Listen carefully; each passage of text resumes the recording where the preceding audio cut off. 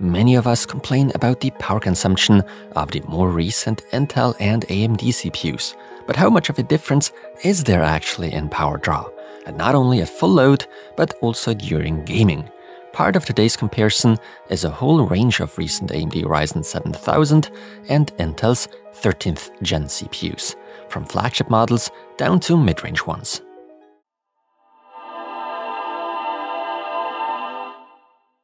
Before we delve into the power draw measurements, I'd first like to point out that all the tests for the following Intel and AMD CPUs were conducted with different motherboards, all by the brand ASRock.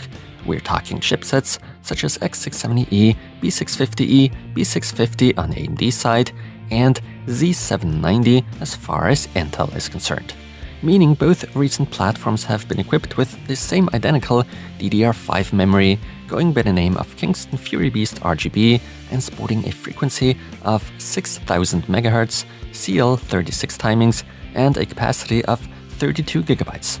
I've also gone with the identical AIO liquid cooler and of course our usual RTX 3090 graphics card, which is going to play a major role in the gaming power consumption results, obviously.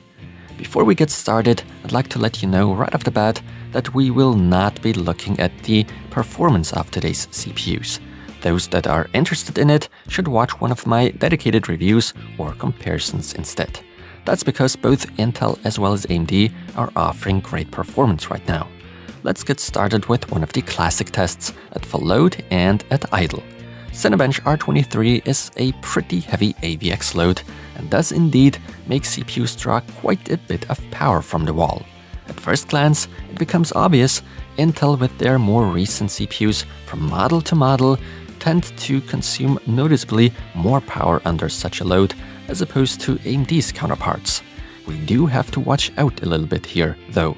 For Intel I have two entries per CPU within the charts. That's because I've tested both at stock auto settings, fully dictated by the motherboards as far as power limits are concerned, as well as at power limits as officially stated by Intel. Especially with the 13900K and 13700K, we actually get to see quite noteworthy differences there, and those should not be ignored. Starting at the top, when referencing those stock auto settings, the 13900K consumes exactly 105 watts, or roughly 28% more power than the 7950X. The 13700K draws even 140 watts, or 46% more from the wall than its counterpart 7900X. Separating the 13600K from the 7700X are 81 watts, basically the Intel model drawing 34% more here. If we are comparing the 7600X with the 13600K, even though such a comparison is a bit unfair in terms of performance, the 13600K goes to show a 107 watt or 51% higher power draw. Well, obviously, these Intel CPUs don't seem to shine here. Things become fairer once we start comparing with adjusted power limits according to the official Intel specification and not ones simply dictated by the motherboard to squeeze out every final remaining bit of performance there is.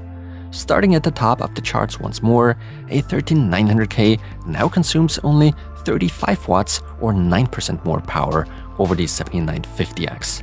A 13700K as opposed to the 7900X then draws 105 watts or 34% more juice one does wish for somewhat more appealing results here. Now, if we were to compare the 13600K with the 7700X, that i5 would consume 78 watts or 33% more. And if we are comparing the 13600K with the 7600X, we're looking at a 104 watt or 50% higher power draw on the 13600K. However, when glancing over to the measured idle results, for the most part, it's Intel that seems to be doing a little better than AMD, even though those Ryzen CPUs that come with lower core counts seem pretty comparable in terms of idle power draw compared to Intel. Especially unappealing are those 123 watts measured for the 7950X while idling, doing nothing. That specific model at idle tends to consume a whopping 38 watts or 45% more power than the 13900K. Under certain circumstances, that hurts a whole lot more than having the CPU consume a little more power at full load, depending on your use case. Other than that, the remaining Intel and AMD processors are neck and neck as far as idling is concerned. The only exception being the 13600K, which really stands out from the masses in a good way. It draws 15 to 20 watts less than those other models on the list. That's very praiseworthy. But now let's move on to the gaming power consumption. This is where we don't see that noteworthy differences, whether the motherboard is going for its own auto settings or we strictly set Intel's power limits manually. Obviously, both CPU and GPU are put to work here, which is why we're looking at a significantly higher power reading here in general. The 13900K still does draw around 20 watts or 3 to 4% more from the wall than the 7950X. Once we compare the 13700K against the 7900X, the consumption of Intel's processor is roughly 25 watts or about 5% higher than the one of the AMD counterpart. 25 watts and nearly 5% higher power draw is witnessable when comparing the 13600K with a 7700X. If compared with the 7600X, the 13600K tends to suck 32 watts or a little over 6% more out of the wall. What, however, seems to apply to both manufacturers, Intel and AMD, is that you unnecessarily drive up power consumption while gaming when going with higher end models, in turn, not even seeing any significant, noteworthy increase in gaming performance. So our old rule of thumb seems to apply here once more, and that is that you do not need a high-end CPU or a upper mid-range model to game efficiently. Power efficiency is the keyword and leads us to our next topic. Needless to say, Intel as well as AMD CPUs can still benefit from manual optimizations by partially going with different power and temperature limits and going through the hassle of undervolting. Undervolting sadly hasn't gone all too well with my specific 13900K sample, which is why I had to content myself with stock Intel power limits as a way to optimize the chip instead. This indeed led to a great success, reducing the power draw at full load without any noteworthy performance losses by 14%. The power consumption of AMD's flagship I managed to lower by nearly even 16%. With the 13700K, I quickly managed to drop the nasty numbers by 21%. And in the case of the 13600K, the power consumption can easily be reduced by an incredible 26%. Unfortunately, I haven't done any optimization work with those remaining Ryzen CPUs. It clearly needs to be said though that your mileage may vary from CPU to CPU. At the end of the day, it's a matter of luck, similar as it's with overclocking and undervolting. The bottom line is that you're consuming a little less power with those recent AMD CPUs. This, for the most part, applies to heavy loads that utilize all cores, basically workloads such as rendering, video encoding, and so on.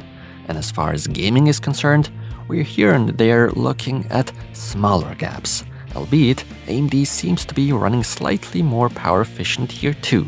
However, one should not underestimate the idle power draw when doing nothing. For the most part, those results end up looking better and less worrisome on Intel's side. As long as you don't go with the AMD flagship 7950X, the remaining Ryzen models are somewhat comparable in efficiency with Intel though. Star of the show, needless to say, is the 13600K, even making Intel's very own higher end models look bad in a way. I'll be honest with you, I'm not happy with the power draw of all these CPUs, be it Intel or AMD. All the more I'd therefore recommend taking matters into your own hands and start optimizing. I've talked about that exact topic in my videos for Intel and AMD CPUs respectively. Alternatively, you could just pick up models that come with a noticeably lower TDP right out of the box. There are options available for both Intel and AMD. Guys, this might be one of the most boring videos I've produced in a long time to some of you, but power consumption and efficiency, to me, and actually a lot of you out there, ended up becoming a pretty serious topic. With that said, thank you so much for watching, take care, and until the next one.